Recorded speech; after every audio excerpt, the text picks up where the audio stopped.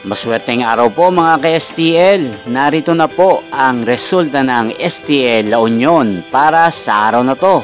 Sana po manalo po kayo.